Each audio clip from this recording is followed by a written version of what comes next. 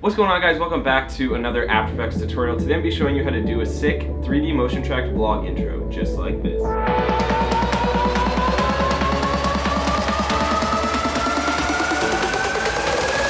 Alrighty, now that we're in After Effects, going showing you what we're creating today. I already gave you a little preview, but basically it's just a 3D motion tracked vlog intro. I guess you can use it for any basic 3D tracking, but here I'm using it for an intro to a vlog. This is obviously a drone clip, but it works just as well with DSLR footage too. And as always, before this tutorial starts, I just want to say that the project file is in the description if you're curious and you want to play along, or if you just want a cool free drone shot. But let's get right into the tutorial. Go ahead and drag the intro tutorial tutorial clip down into this icon right here and it'll create a new composition with all the footage attributes. And then I had a couple people comment on my last tutorial and they said they couldn't find the effects and presets tab over here. So if that's not showing up for you just go up here to window and then click the effects and presets right here or click control 5 or command 5 if you're on a Mac. So this is the clip we're working with here today and the first step obviously is to do a 3d camera track. So go over to the effects and presets tab and type in 3D camera tracker. Drag it over onto your footage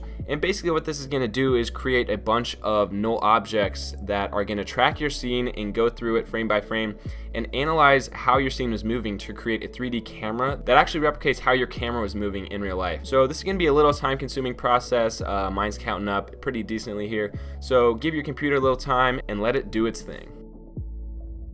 And when all that's done, it's going to try and solve your camera. This is also a decently time consuming process, so give your computer a little wiggle room. So when that's done, you're going to see a whole lot of target tracks here. I'm going to go ahead and increase the target point size just so you can see, and then maybe even a little more so you can see there's also a lot off here in the distance and then obviously shrink that back down because that's a little insane. And I'm also going to decrease the target size to like 15 just so it's something more manageable to work with. That's the size of this red target right here. So then what you're going to want to do is select three tracks that are on the same plane in your environment. Just hold down shift. It's going to create this target right here. What you want to do is right click it and click create text and camera.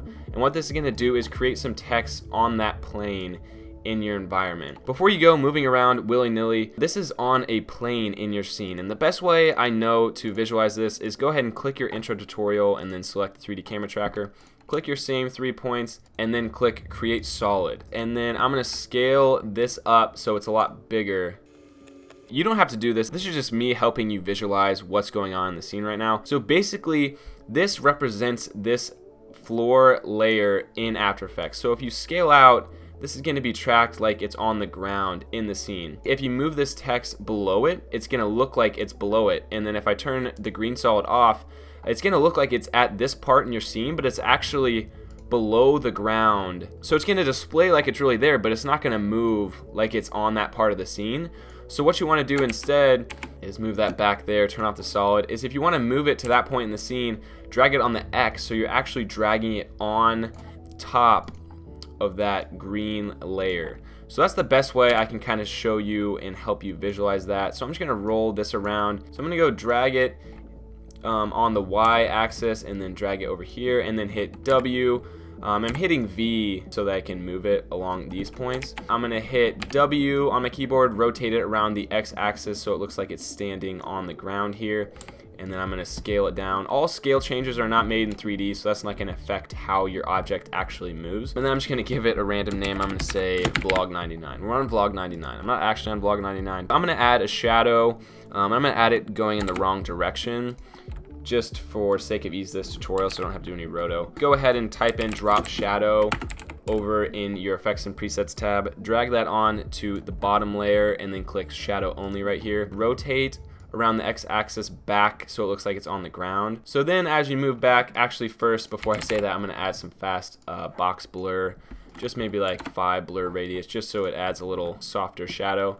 So then when you retract in your scene, obviously it's not rotoed out behind this bench autosave, sorry. But as you move, it looks like it's on the ground in that position throughout the entire time. So that means you have a good 3D track going. It has no correlation at all, but I'm just gonna change this to two for my sake. So what you can also do is drag this up and then this shadow will make it look like it's floating a little bit. So now this is dragged up in 3D space, so if you turn this on, that kind of helps visualize. If you go back throughout, everything is still tracking good and it looks like your text is floating it's the middle of the screen. So if you want to make it float that's probably the easiest way to do that. But then let's say you want to add something up here. So it looks like maybe it's not a part of the sign but it's here and it's another part of your intro. So hit intro tutorial hit 3d camera tracker and then you want to right click any of these points on the plane that you want right click it and then click create null. So it's going to create an actual null object where it actually was in your scene. Go ahead and just duplicate um, that text layer because you already have it and it's in 3d click the drop down menu hit the transform drop down menu of the null object click the position hit control C and then hit control V and paste it over to that other layer. And then your footage should be good to go right there. Another thing I kind of say in my vlogs is it's a Colin Ross production. So if you're trying to do like a multiple thing whatever you call your vlogs or your series or anything so I'm just gonna move that into position. And then obviously like the same way if I move this into Z, the Z position and then drag it up, it's going to look like it's there right on this frame, but then when you drag through, it's not going to look like it's properly tracked. So I'm going to undo that. So when you're working on this plane, obviously you only want to move on the Y and X axis. So that's going to look now like it's a part of the scene up there on the sign. So just to give you a little better idea, After Effects actually has 3D. So if you go down here and click two views horizontal, you can see all of your layers if you highlight the text layers and then if you also highlight the camera it'll show you what's going on in 3D from a top perspective here's your camera actually moving in your scene and then you have your text layers and then your text layer obviously further in Z that way. I think that helps a little bit visualize what is actually going on and helps you realize what you're doing. You obviously can stop there, but to make this tutorial even cooler, you can make it look like you're actually moving through the text. I'm just to go ahead and delete this shadow because it doesn't really hold a lot of relevance. I already showed you how to do it. So what you want to do is open up the two views in After Effects. So here is your 3D layer. So this is a top-down view perspective. So here's your text and here's your camera. So obviously if you move this in Z space on this line, past the camera, it's going to be behind it, and then your camera, since it's moving backwards, will eventually reveal the text.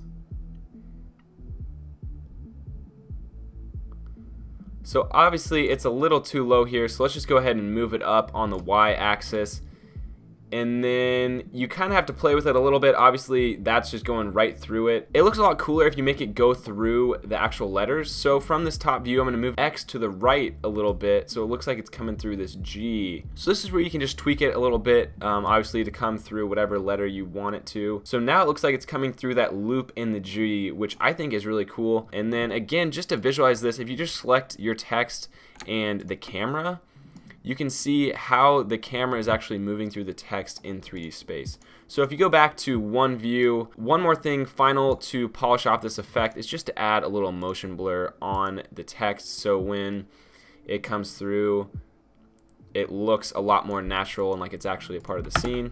So as we preview here, you can just kind of see this was a basic tutorial on how to do a sick vlog intro or intro to whatever you want that has 3D camera tracking, 3D layers, 3D text, and After Effects. Uh, I hope you enjoyed the tutorial as always. If you have any questions, just comment down below. I answer all comments and questions. And if you enjoyed this video, please leave a like and subscribe. I'm putting out more tutorial content and more vlog content than ever. So subscribe for the ride. If there's anything that you didn't enjoy about this tutorial, let me know. I always appreciate critical feedback in the comment section. Anyways, I'll see you guys in the next vlog slash tutorial. Peace out.